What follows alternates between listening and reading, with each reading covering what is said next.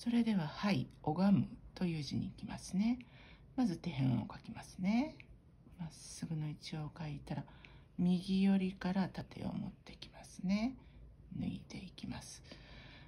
この下の部分を3等分した時に、3分の1あたりから上3分の1あたりを狙って上がっていきますね。沿っての位置。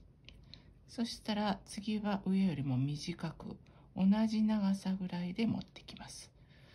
最後の線は一番上の1.5倍ぐらいで持ってきますね。